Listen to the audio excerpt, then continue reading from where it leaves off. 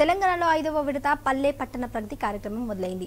ఈ సందర్భంగా పలు జిల్లాల్లో జరిగిన కార్యక్రమంలో మంత్రులు పాల్గొన్నారు.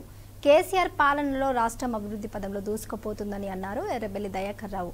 జనగామ జిల్లా దేవరుప్పల మండలం కడవెండిపల్లె పట్టణ ప్రగతిలో పాల్గొన్న ఆయన రైతు సంక్షేమ కోసం ఇరవై నాలుగు గంటల ఉచిత కరెంట్ అందిస్తున్నామని ఎకరాకి పదివేల రూపాయల పెట్టుబడి సహాయం అందిస్తున్నామని తెలిపారు.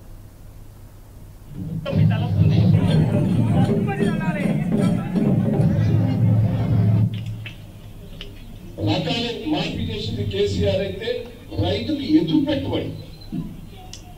ఎకరాన పదివేలు ఇచ్చిన మహానుభావుడు కేసీఆర్ గారు పెట్టుబడి. రైతుల్లో ఎక్కడ? రైతుల్లో చేతులు ఎత్తాలి. అందరూ రైతులే. మరి కల్లి కొత్తలేదు పదివేలు దొరుకుతారు మేము చేసుకుంటారా? రైతు బంధు ఇచ్చిన ఎకరాన పదివేలు ఇచ్చారు. ఎవరైనా ఇచ్చారా?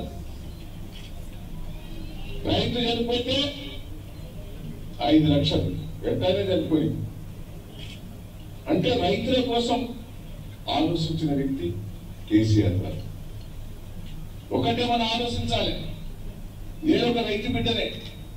ముఖ్యమంత్రి అప్పుడు ఫస్ట్ ఫస్ట్ ఏ నిర్ణయం తీసుకున్నాడు? పెద్ద మనుషులకు తెచ్చుంటుంది ఇక్కడ ఈ రకాల పేరు మీద రైతుల దగ్గర వసూలు చేసి భూములు వీళ్ళ పేరు మీద వాళ్ళ పేరు మీద లొల్లిపెట్టి రాయించేది. ఆ పట్టువారు ఆ పట్టువారి వ్యవస్థను తీసేసి అసలు రకాలే రైతుల దగ్గర వసూలు చేయొద్దని నిర్ణయం తీసుకునేది ఫస్ట్ ఫస్ట్ రైతుల కోసం ఎన్టీ రామారావు గారు.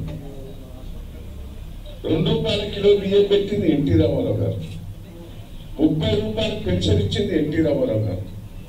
కేసీఆర్ గారు మళ్ళీ మధ్యలో కూడా ముట్టించుకోలేదు. మధ్యలో చూసేది ఆ పెన్షన్. వాడు చస్తే వీనికి ఇద్దామా వీడు చస్తే మనకి ఇద్దామా అని చూసి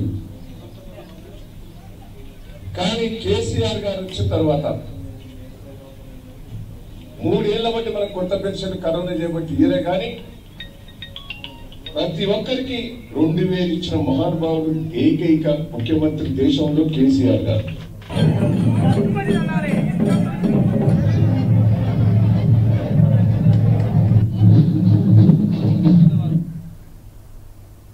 కరీంనగర్ పట్టణాన్ని హరితవనంగా తీర్చిది